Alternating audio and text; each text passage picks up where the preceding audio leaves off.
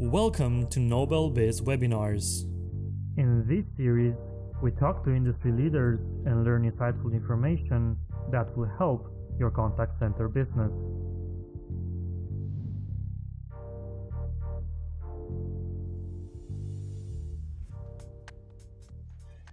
Hey everybody, thanks for joining today. Really excited about today's conversation. It's actually something that comes up quite often, and really what we're going to focus on is inbound and the evolution of inbound coming into the world of omnichannel. So I'm really excited about today's guest. It's Ryan Peters. Um, Ryan's had over a decade of experience in running contact centers, especially focusing on the inbound. So Ryan, uh, thanks so much for joining. Looking forward to our conversation on inbound. Yeah, ex- extremely happy to be here today. You know, one of the things that I wanted everyone to kind of get an idea of before we jump into the topic is a little bit about your credibility on inbound, right? Understanding your work in contact centers. Can you give a little bit of background on what you've done, where you've been working, things like that? What's your history look like? Yeah, so, you know, I've had the opportunity throughout the years to literally start at the ground level as a rep and, um, you know, working as a call center representative, taking calls on a customer service slash sales um, account and just grew from there to a place where you know I was traveling the world literally um, being sent everywhere wherever there were challenges that needed to be fixed or programs that need to be revised or client relationships that need to be rebuilt. Um, so I've really had that opportunity throughout multiple verticals from telecom to healthcare to travel, etc. So um, it's been a great opportunity for me over the last 12 years. Awesome. Well, with that being said, you know, considering you have uh, background in global contact centers, large companies, being able to deal with big and small, um, there's got to be a lot of things that really affect the productivity and effectiveness of being able to run that center. And especially on the inbound part, when we right. talk about that, since that's the largest share of all the traffic you see, I'd love to kind of just step back for a minute and talk a little bit about, you know, what is inbound you know when we talk about that. Walk us through for those yeah. that go like yeah we've seen we know what inbound is. But for those that just kind of get an idea of what we're going to focus on today what do we mean when we're talking about someone having a center or a department that focuses on inbound and doing inbound campaigns? Yeah so inbound would be any call or transaction you know because nowadays we're multi-channel or omni-channel um, center so it's anything coming into the center into the company that originates from a customer from a member um, into that center. So when we talk about that and we're saying, okay, um, you know, there's inbound, what what are common examples in your use cases where inbound calls would be created or inbound interactions? Do you have examples of what types of situations would cause someone to need to call inbound? It sounds obvious for a lot of people, but just to right. kind of clarify a little bit here, what is some stuff? Yeah. Yeah, so you know it depends on the vertical, right? So if, if you're running a healthcare account, and you've got an inbound call coming in from a member. It could be a customer service call saying, "Hey, I wanted to check my insurance. Um, did we get this cleared?" You know, and a lot of times on the inbound side, you have cost centers. So that's why it's so important to have this conversation today because a lot of companies, their inbound center is not a revenue generating center. It is a customer service, customer support. There's some challenge that is having them call in uh, and then you do have the other sales centers where you know they're calling in because they want to add a feature. Maybe it's it's Comcast or or AT and T. Hey, I want to add a line or I want to add channels. Um, but for the most part, a lot of times it's that support cost center um, experience. So let's talk about the evolution of going from telephone calls into the world of multiple channels, and then now you know, more than ever the omni-channel experience. Let's get a brief history in that. What did you see and have you seen through that transition? Yeah, so you know, it, it's much different from the 1894 switchboard. If you remember Mr. Ed, when when they called in because there was an issue, there was a switchboard. The lady had to punch the numbers in and, and connect the lines hardwired. Um, you know, we've gone from that switchboard mentality or, or technology to this ACD technology to where we could distribute calls wherever we wanted to. And now we're into the 90s and 2000s where the internet comes in and we're able to utilize a multi-channel, omni-channel experience where a call could come in and then to that same platform or chat could come in or something from Facebook. Uh, so we've really revolutionized the technology when it comes to the te- telecom space. Um, and that has helped the centers and inbound centers that have you know adopted this new technology. The challenge is Christian is a lot of your industries, your financial, healthcare um, industries, they're so late to adopt because of the compliance issues that you know they don't understand the benefits or know how it works quite yet, which is amazing in 2021. For most centers, they say, "Hey, we get it, we know it. We've got to have chat. Let's figure out how we can omni-channel it." You know, we have customers and, and clients who they're still stuck on that that single channel of, of inbound support. Well, I think when we talk about change, right? Change is difficult. It's yeah. disruptive. Being able to adopt new things, train on new things, and also we run our businesses based on what we can measure, right? And how do we measure them? It helps us understand how do we show whether we're being productive or successful or not at something. And when you don't have experience in saying, well, this is how I would implement web chat or social media or SMS or email, and or you're able to say, well, this is actually what is a productive use of these additional headcount that I'm adding or this cross training I'm doing within the organization for that role to now take on these other medias. How do you sit there and go, this is how you do it and this is how you do it successfully? It takes time, effort, training, and making sure that it's implemented properly. So a lot of times I see that sometimes it's I don't know what I don't know. Sometimes it's the status quo, what's what we've always done absolutely there's the compliance aspect of it. Do you see anything else that becomes a driver of where that inbound experience may be lacking just because of something that's keeping you from moving forward? Yeah you, know in the early stages it was it was really on that return on investment because in the beginning it, it wasn't cheap to make the changes and then they didn't we didn't have an omni-channel option. Everything was bolt on to the side. So when we added chat to a major telecom um, program that we had. It was a separate program that you had to log into. Um, and and you know you wanted to make sure that that was going to work. And so when we found out that hey, business is booming and we need an extra 500 agents this month, and we said, well, what if we add chat? Then we can take three to one. You know, these agents can take three chats. Well, they can't take three phone calls at once. you know, so it allowed us to easily make that decision because it made financial sense and business sense and then when you look at the NPS scores and the, the improvements made there, it's a no brainer because, you know, we're in an age where people would rather text or chat than they would pick up the phone and call and talk to somebody. Well, let's talk about that for just a minute. Why do you feel, why have you seen that people feel like using text based communication like SMS and chat and like that over a phone call? It may sound intuitive, but why did you see on your end the adoption or the necessity for that to be implemented? Oh, well, because because of this right here, it makes it so much easier if someone wants to come in. You know, they don't want to have to wait on an IVR. You know, they don't want to wait on hold forever, where they can just chat and and continue with their day. They're not focused on just one interaction because that's how the consumers are acting as well.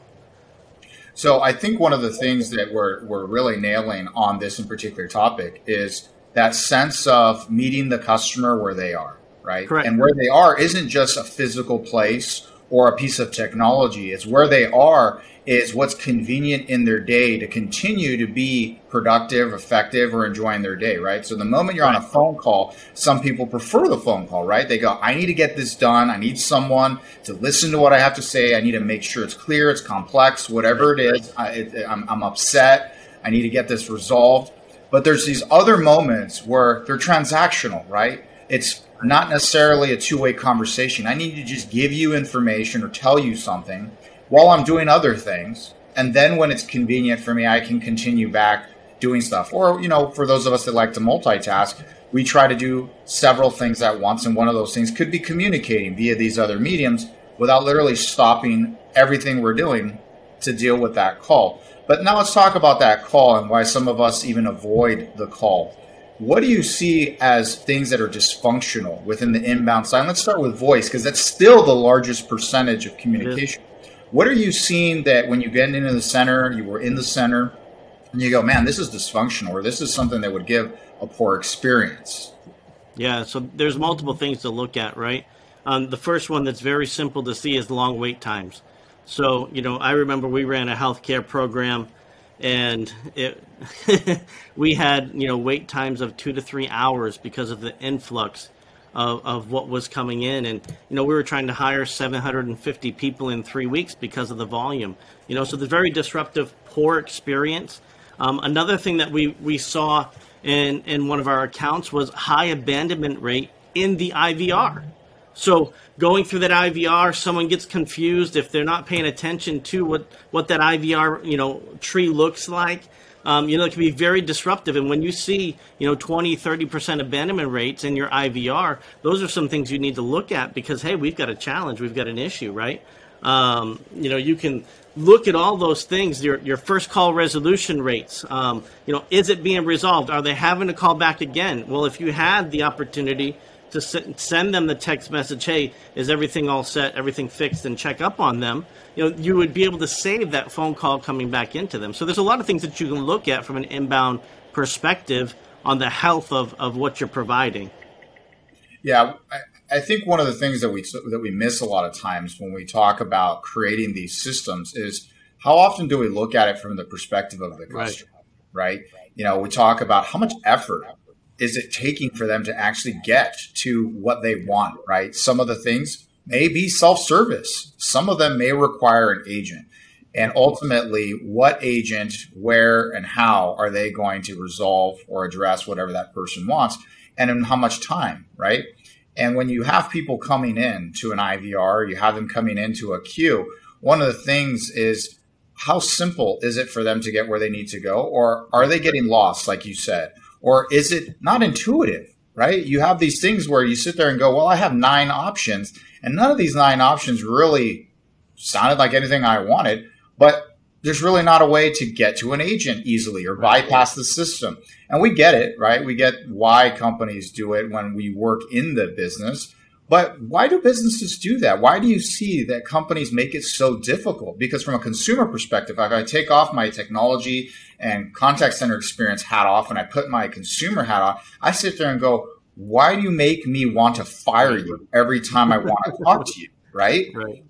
Why do you see that happening? Do you ever get the, you know, behind the scenes look that you can share with the audience? Yeah, one of the things, you know, a lot of your larger companies that are, are moving just from the dollar to the customer experience, um, you know, meaning something to their company where their mission statement actually comes to reality. Um, they're beginning to journey map, as you said, and and we've had the opportunity to journey map with some of the the greatest companies out there, um, and really walk through what is that customer journey. What are they going through as a customer? Because a lot of a lot of companies, all they think about is that bottom line, the pat and and they're just looking at okay i've got this much headcount how can i get as many calls out that don't need to be in right and and in doing so a lot of times that it's the customer that suffers because of that so when you're going through an ivr i was i remember i was online the, the other week looking for a customer service number and they said and i remember looking at google it said to get to their customer service line call the number press 4 press 5 press 3 press 2 wait for three seconds, press four, and then you can get to customer service. Who wants to do that, right? Um, and I know I don't. um, so being, you know, so I get on there zero zero zero zero zero zero zero zero, right? Zero out. Or, or you say representative or agent, but you know, I'm sure right. what's going to be great for you, right? And it's common that this happens, is you memorized that sequence and they change it. Right, exactly. And then now that sequence doesn't work anymore. And they, and that why? Because people are bypassing the system they've created. Right. But I think the bigger thing is is if you start to see a material change in the amount of people that are bypassing your system or bypassing its normal use, that's, that's probably an indicator that something's wrong versus saying, let's change this up so we can throw them a curveball. Right. right? But uh, you know, when we talk about you know internal audits, workflows, you know, things to be able to go back and say, I think we need to make this better, right? Yep. Either because of complaints or poor scoring, uh, or just someone has the foresight to come in and look and say, you know what, this isn't right. This can be better. Do you have examples of what companies do when they do those internal audits or those inbound flows, or what it is they're doing um, to be able to make sure those things are up to what they need to be or they need to be improved if they're not. Yeah, there's a few things that, that I highly recommend that seem so simple yet are often overlooked. the first thing you could do is, is pick up the phone and call your 800 number. Get to the top of your VDN, get to the top of the line where they come into that IVR and walk through every stage, every opportunity, and wait till you get to that rep. Map it out. I mean, I remember when we did it for one of the, the major financial companies, we had an entire wall, probably 20 feet long, with, with big sticky notes on exactly what that customer journey was, what we liked, what we didn't like, what was painful, what was pleasant. And we mapped it out completely to see exactly what our customers were going through, and then took a step back and said, wow, we need to make some changes, right? So that's the first step. Listen to the call in yourself, right? And then the other aspect that I say, sit down with some of your agents or your representatives and Y-Cord. Listen to the calls that they're taking. Listen to that customer on, on their interaction and what's happening in their journey. Do some Y-Cording, do some testing, do time and motion studies, right? How long does it take for you to get from, from point A to point B to where you're with a rep. How many different changes are there? And when you begin to map that out and see what's going on, you can see the frustration in the rep when they get an upset customer. You can see the customer's dissatisfaction because of what they just had to go through. And you can put that on a wall and look at how big that looks and and, and you can see how convoluted it is. It opens your eyes to begin to make some changes. And, and I think that's the first step. You've got to open the book to see what's going on. Yeah, and I think a lot of times when these systems are built, it almost feels like, to use a baseball analogy, that they're using a bat instead of a glove, right? They're trying to figure out how do I get everything that comes to me out of my way versus embracing it, taking it, and actually owning it, right? And and and that's the challenges I think as a consumer, a lot of people feel that they're they're having to work really hard to actually get to somebody in some businesses. Other businesses do a, a much better job and they're able to actually make you feel like, hey, yeah, I can I can talk to someone. So when we talk about inbound, you know, we talk about organic traffic, right? We talk about traffic that also um, comes in spurts, right? You know, we can talk about um, you, know things like um, you know some sort of telethon or some sort of you know right. inbound spikes that happen, um, and then you can have other stuff that's more of you know consistent flow that comes in. When it comes to those types of scenarios where you have just a consistent flow or you have these huge peaks and valleys, how does a company manage through something like that appropriately and understand how to staff accordingly and obviously from a technology standpoint manage that accordingly? Do you have any insight into what people do around that yeah you know there's a saying no one builds a house without a plan if they want the house to stand and you know proper planning and workforce management is so important um, you've got to be able to properly forecast your volume. And I've been in some major companies where their forecasting was atrocious, you know, and, and you would think a, a multi-billion dollar company that they would have it locked down. And, and, and it's an art, you know, you have to be able to look at what's happened over the years. You've got to be able to have that partnership with marketing. What are we doing within to drive the phone calls in?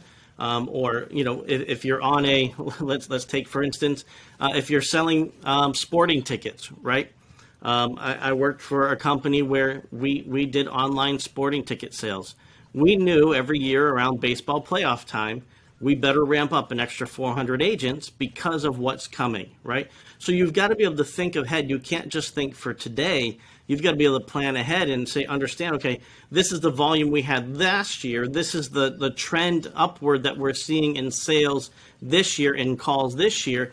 Well, if we put that trend into what we've seen for the previous years in our spikes and our valleys, we've got to be able to project for that. And so it's, you know, and, and this isn't part of the conversation, but Christian, this, this very easily gets into creative staffing mentality, right? Um, do you always hire full time? That's not wise when you're in an uh, up and down, you know, um, business. You know, do you have a temp model where you can bring in some temps, train them properly, and then release them at the end without, you know, causing a ruckus, right? So there's a lot of things that you can do there, but that workforce management piece is so important to be able to understand what's going on and how are you going to manage when you do have that spike and if it does increase 20 30% you know what are you doing from you know and and, and here's how long your your calls uh, expected wait time is going to be. Or you know adding an option in your ivr would you like to have us call you back automatically? Would you like to just look up your order? And maybe we we have an aws connection that pulls in from the server. If you're just looking for an order status please press one push in your order number and it automatically pulls. You know 20 years ago we couldn't do that um, so you know we, we've got to be able to look at our business, we, we always say, like in a blue sky, if there were no restrictions whatsoever on what I could do, what would I do? And then let's find out how we can do it. Yeah, that totally makes sense. And I think the other part is, is I don't know that we actually look enough at why people are reaching out to us in the first place.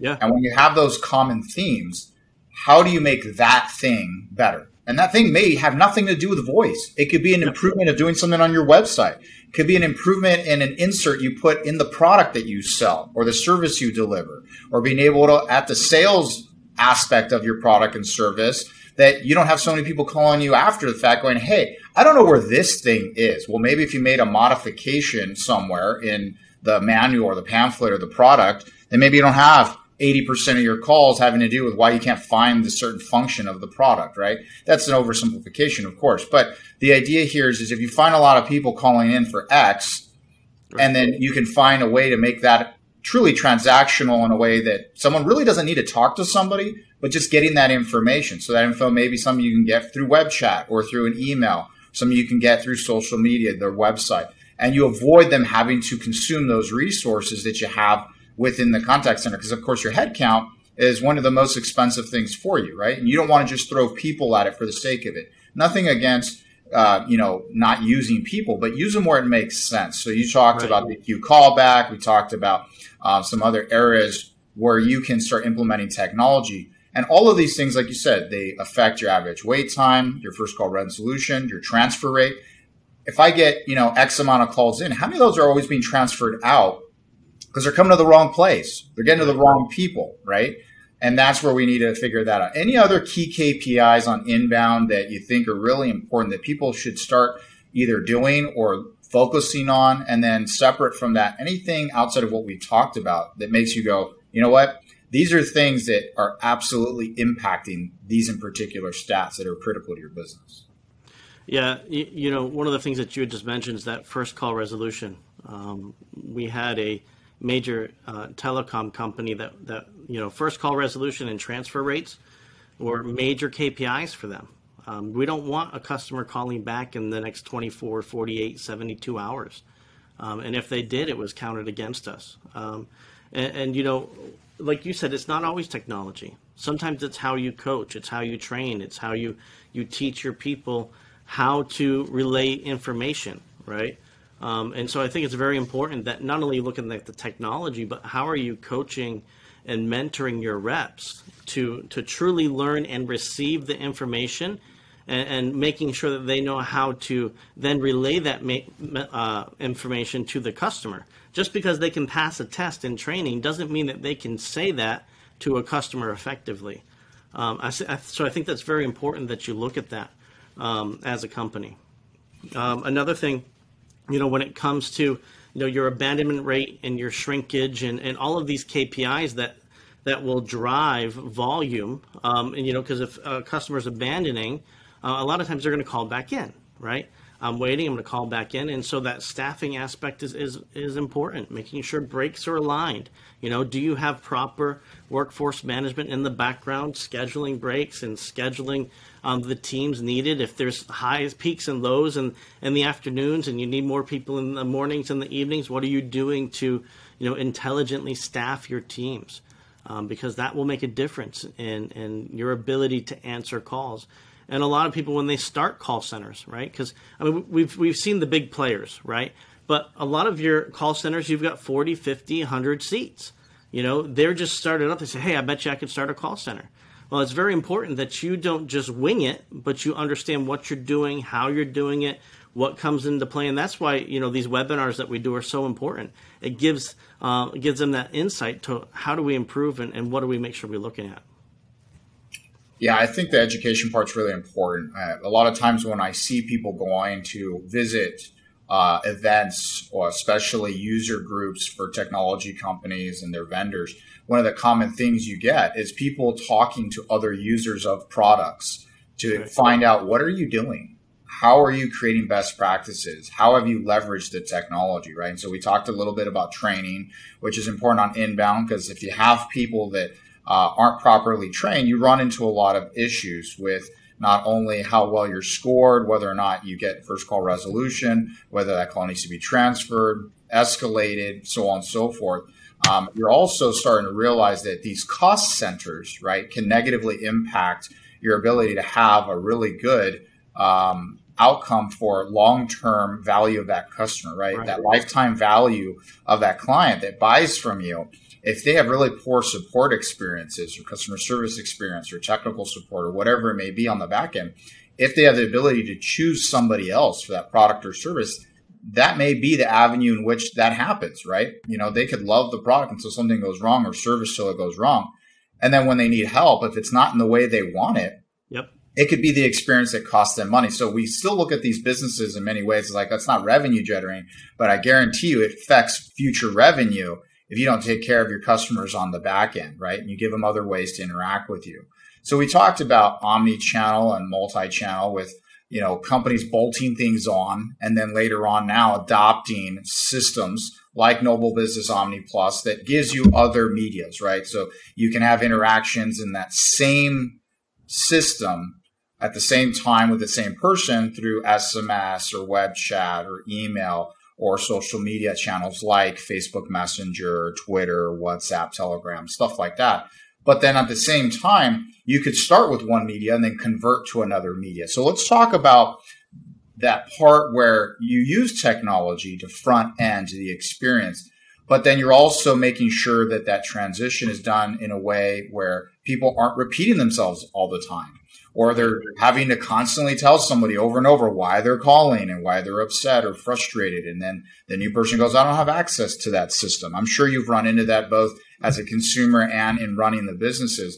What do you think companies can do on inbound to make the technology and the training of the people and the process in play so that people don't have those experiences of having to repeat everything or feel like they have to start all over again?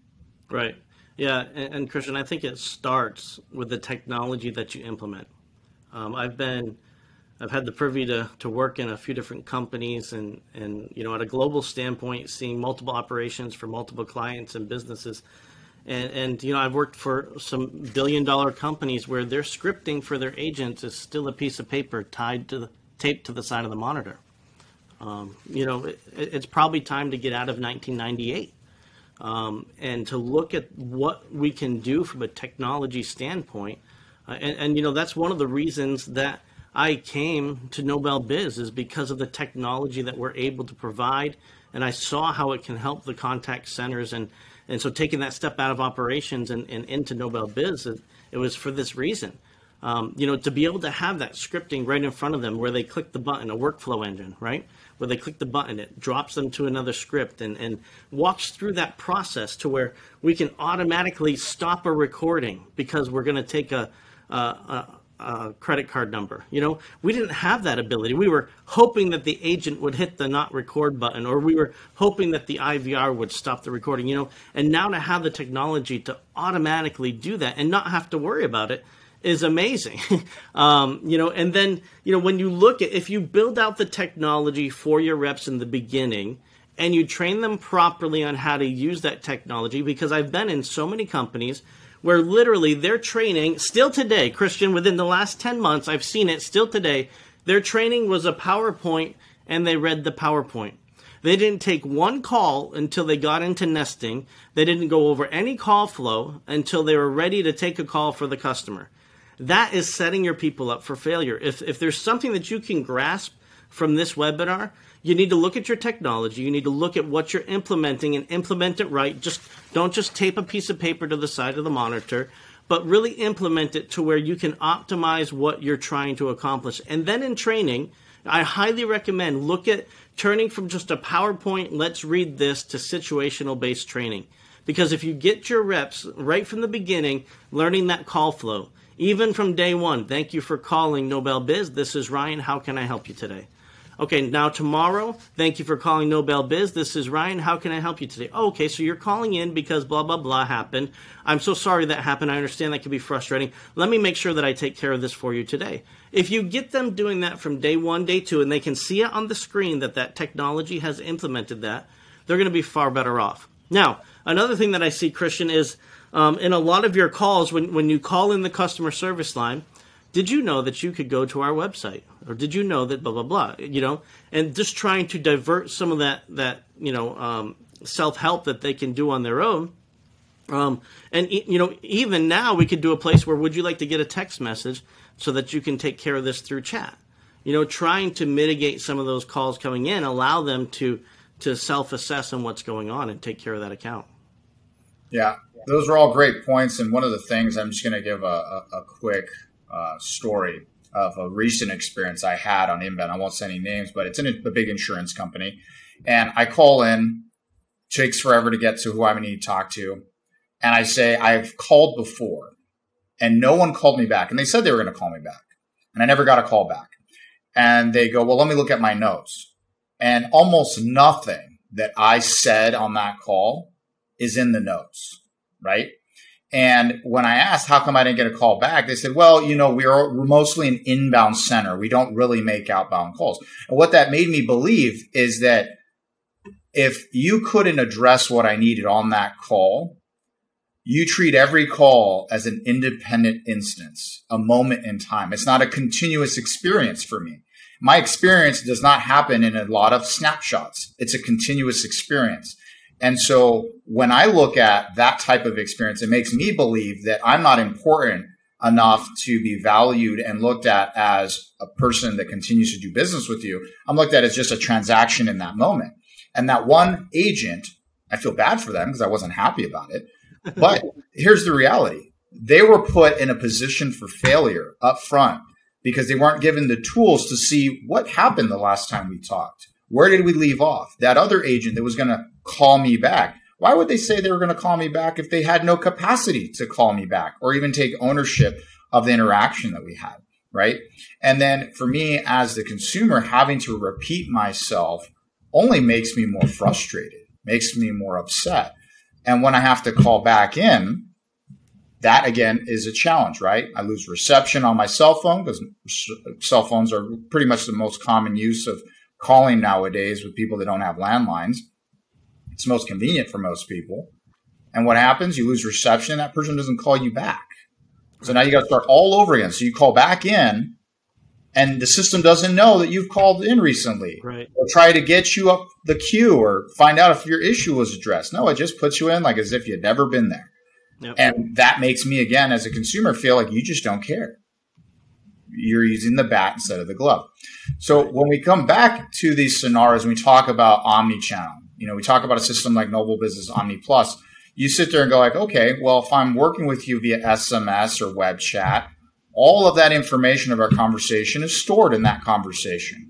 And when I convert to a different channel with the same person, it's still there. And I can say, hey, I'm on web chat. I can convert to a voice call right now with you if I wanted to, right? If it made sense in that scenario. If I'm actually reaching out via web chat and eventually I come back out to you and I call you, I can look that up and I can see that you reached out to me. I can see the whole interaction. So those types of things of my experience, my journey follows with me instead of it being a lot of moments in time. It's my whole experience. Anything else you can add from a technology perspective, process, operations, training that you can think of that sums up some of the things that companies, no matter how big or small they are, really have to start focusing on and implementing or looking at, you know, having a good look in the mirror. Yeah, you know, the focus, like I said earlier, is not so much on my dollar because we realize that if our customers, our members, if it's healthcare, a lot of times it's members, if our members are pleased with our service, they're going to come back and we won't have to worry about the revenue. We won't have to worry about the bottom line. And so I think it's very important that, that companies begin to look at that process and journey and how can we, like you said, you said it perfectly, how can we meet them where they are? And you know, with NobelBiz Omni Plus, being able to see how easy it is when you're on a phone call to quickly send them a text in the same screen, not on a different tab, in the same screen. Quickly send them a text that's that's already maybe pre-populated as a click of a button, or the click of a button will automatically send them an email or we can click on a tab and, and go into our email capabilities, look at the messenger. You know, I, I think it's so important that companies begin to look at that customer journey and how can we reduce friction and meet them where they are. And, and I think it's important to look at um, don't be scared when you hear omni-channel, you hear SMS and chat, and oh my God, that's going to be so expensive. It's really affordable to see how you're going to be able to reach your clientele um, where they are. Um, when it comes to just an overall, when you're launching, when you're training, when you're trying to optimize operations, always you got to look at the data, right? They say trust data, everybody else trusting God, right? You got to look at the data and then look at the coaching and development that's going in on your centers. I go back to how I traveled. Nine times out of 10, it was the systems weren't used, being used properly. They weren't optimized from an IVR perspective. Um, you know, they were using multiple um, programs and, and different tabs, and so the wait time was high. And then it always came down to leadership and coaching. You've got to be able to make sure that your leadership knows how to coach and that it's happening. You can't just teach your managers how to coach once and expect that it's being done. You've got to inspect what you expect, that old saying, right? You've got to inspect what you expect, help them along the process. I've always believed in that behavioral coaching, focus on one or two areas, let them improve there, and then move on. Um, and so when, when we talk, you know, omni-channel or when we te- talk technology, maybe you have a rep that's just spending forever on the call when they could quickly move over, okay, Mr. Smith, I'm going to send you a text message with the link so you can go finish this and, and, finish this order, whatever it may be, right? So you want to be able to think outside the box and be able to work with your people, but focus on one or two things at a time and to help them improve. And, and I think if you begin to do that, implement the omni-channel, implement the technology to, to reduce friction, and then truly work with your team on a behavioral coaching methodology, you'll see improvements and turn it around. I've seen so many businesses turn around within the contact center world within 30 to 90 days just from implementing those small things and just being consistent and inspecting what you expect. And, and have, I've seen so many businesses saved that were on the risk of being closed just from those few small things. Well, that's great. And, you know, to kind of close this out, I have a couple final thoughts to just uh, tap into what you were saying. I think it starts at the top in a company when you have a contact center if you look at it as a silo or a necessary evil or just a cost center and it's just this part of your budget that exists, I think you've already started in the wrong path. I think you have to start with the outcome in mind and the why. Why would you have it? And that trickles all the way down to why would I even implement SMS? And what's the outcome? If you don't have an outcome that's measurable or something that's specific that you can say, this is why I'm doing it, then I think you already missed the point. It's not just because you can do it. It's not just because someone thinks it's cool or it's the latest, greatest. If you don't have people within the organization that understands why that department, that business, that division, or that company exists, uh, assuming you only do outsourcing, um, then you really are missing the mark of all the people's experience that's going to have when they interact with you via whatever channel they're interacting with you.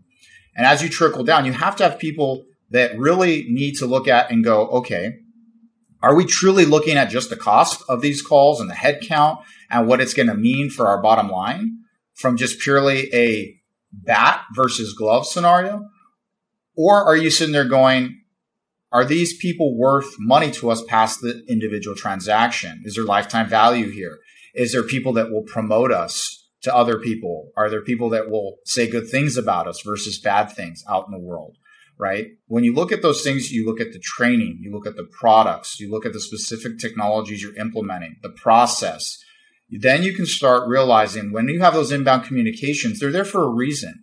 If no one needed to reach out to you, you wouldn't have to have this stuff. But if people are reaching out to you, you have to look in the mirror and say, why is that happening? And how do I make it better? How do I make it so that this department doesn't just get looked at or this division or this unit looked at as this other thing, this afterthought?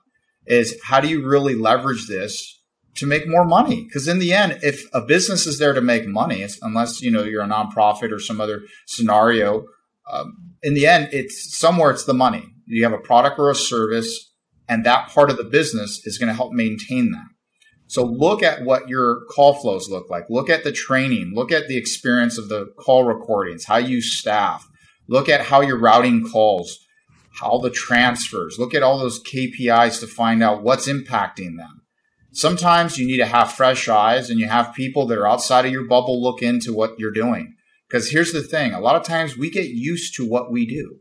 We're creatures of habit. Sometimes we don't know what we don't know. And so we just do what we know how to measure and what we know how to manage. And until you know how to have a continuous learning cycle or get out of your own bubble or have someone from the outside in look at what you're doing, then you may not have these leaps and bounds of increased productivity and performance. So to close this out, Ryan, I, I love that you gave all this insight and this feedback, and hopefully everyone sits there and just looks at what they're doing today and say it's not enough. Right. How do we make it better? And how do we do it through training, through leadership, through coaching, through technology, process. Any other final thoughts you want before we close out? No, you know, I would just say that, you know, that's what we're here for. Um, one of the great things that I love about NobelBiz is we're not just a sales center. You know, we're truly there to, to help our partners through whatever they may be going through. Um, and, and I've been a consultant. I've hired consultants. That's expensive. so to bring on a team like us to really look inside, take a peek at what's going on, and help them through that process. You know, you may be lost right now. Say, man, I can't get my attrition in line. I can't get my FCR in line. My, my NPS is, is out of hand. You know, we could come in, take a look, and see how our technology and processes could help you um, get to where you want to be. And, and, you know, that's what I love about NobelBiz. It's not just about the dollar, it's about helping our partners. You know, we call ourselves the promise keepers, right? To make sure that we're there for them. So I would just say, you know, if if anything that we said kind of sparked interest or said, man, I'm going through that, you know, reach out and let us know um, because we can help you through that process. And, and you know, we have the tools and, and ability to make that happen. Well, I think just like any company, one of the most important things is the people. And I think as long as we surround ourselves with people that have this experience running contact centers, understanding the different technologies that are involved, the things that do and don't work, it's going to have a much better conversation versus just saying, here's the product that's going to magically is it's the pixie dust that's going to make your life better. It's not how it works. It's a lot of layered things put together to help things improve. So for everyone who's joined, if inbound's been your business forever, this resonates and you have questions, reach out. If you're in the outbound world or maybe a blended environment and you're looking to do more inbound and you're trying to figure out, hey, how does that improve? How do I get better at it? How do I even adopt that as a business model? Again, talk to experts find out ways outside your bubble to help you improve. So thanks for joining today. Looking forward to the next episode and next times we have great conversations, great people. Ryan, thanks so much for joining. Really appreciate your time and insight. Thanks, Christian. Have a good one.